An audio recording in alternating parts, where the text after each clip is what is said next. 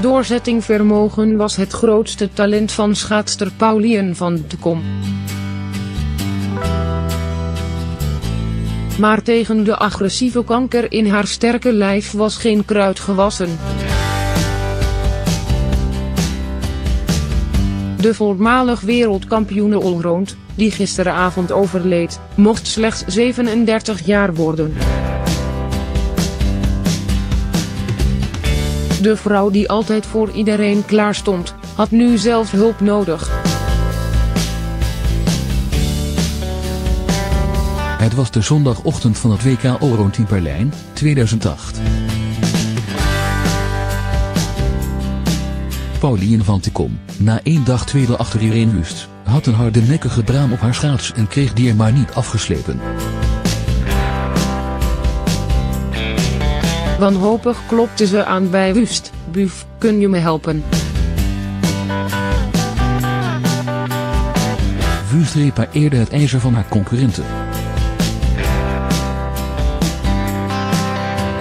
Een paar uur later werd Van de Kom wereldkampioene. Als vriendschap boven rivaliteit gaat, moet die wel bijzonder zijn. Van de Kom, gisteren na een ziekbed van een half jaar op 37-jarige leeftijd overleden aan kanker, was een van de beste vriendinnen van Wust. Hun gezamenlijke lachsal volgalmde vaak door stadions en hotels. Het geluid, een keer stiekem opgenomen door Van Kom, diende een tijdje als wekker voor beiden. De deut was sowieso geliefd in de kleedkamer, benaderbaar voor iedereen. Ze was niet het type van de sterallures. Integendeel.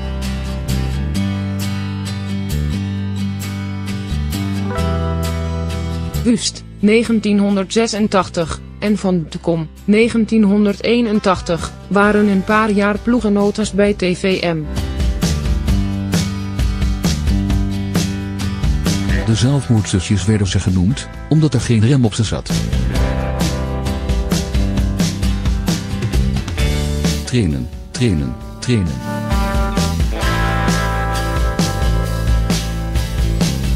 De overtraindheid bij Van de Kom, in de zomer van 2008, was net zo goed een gevolg van haar ijzeren als die wereldtitel een paar maanden daarvoor. Van de Kom, opgegroeid in Gouda, was geen natuurtalent.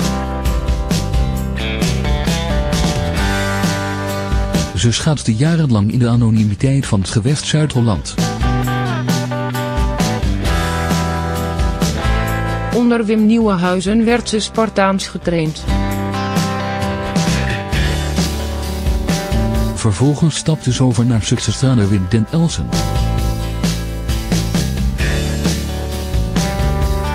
Haar plaatsing voor de Olympische Spelen van 2006, als gewestelijk rijdster, was bijzonder. Ze werd in Turijn dertiende op de 1500 meter. Uiteindelijk kreeg ze een stagecontract bij TVM, in eerste instantie vooral als trainingsmaatje voor Wust en Renate Groenewold. In haar beste seizoen 2007-2008 stapte Van de Kom uit hun schaduw. Met een nerenronde in een oldtimer, naast medekampioen en ploeggenoot Sven Kramer, vierde ze haar sportieve hoogtepunt. Niemand had een wereldkampioene in haar gezien, coach Gerard Kemkers evenmin, bekende hij.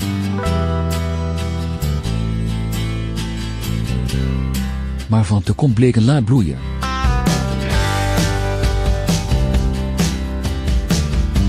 Haar werklust en haar turbodijen brachten haar het goud in Berlijn.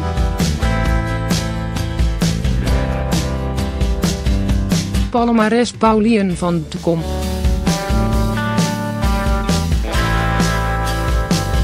Wereldkampioen de Allround 2008. Wereldkampioen ploegachtervolging WK afstanden 2008, zilver op 1500 en 3000 meter dat jaar.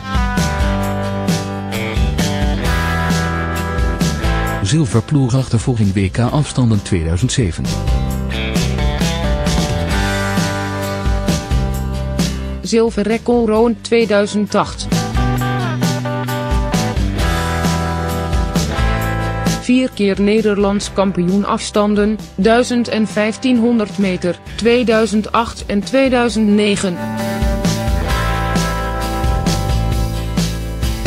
Na die periode van overtraindheid kwam ze nooit meer op haar oude niveau.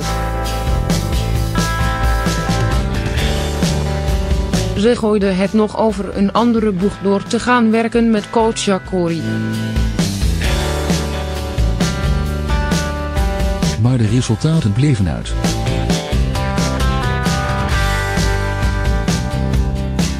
Na een aantal zware jaren stopte ze in maart 2012 abrupt, na een mislukte 1500 meter bij een wereldbekerwedstrijd in Tialf. Het was mooi geweest, zei ze.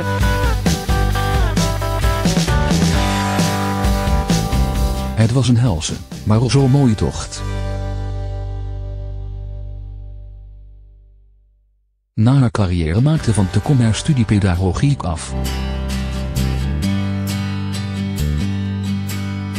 Ze was een tijdje schaatsanalyticus bij de NOS en ging werken als coördinator topsport bij de gemeente Amsterdam. Met haar man Keer kreeg ze in 2017 een dochter, Line. In maart 2018 was Van de Kom bij het WK Allround in het Olympisch Stadion, met tal van andere oud-kampioenen. Ze genoot, had geen idee welk onheil haar te wachten stond. In de zomer was er het slechte nieuws. Kanker, uitgezaaid.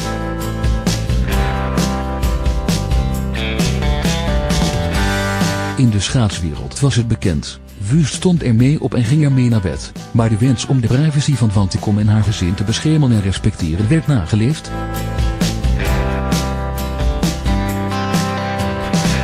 Verschillende behandelingen werden geprobeerd, niets sloeg aan.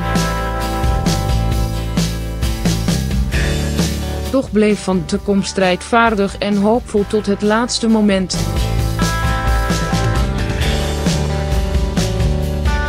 Geheel volgens haar schaatsmotto nooit opgeven, altijd doorgaan. Maar de strijd bleek oneerlijk.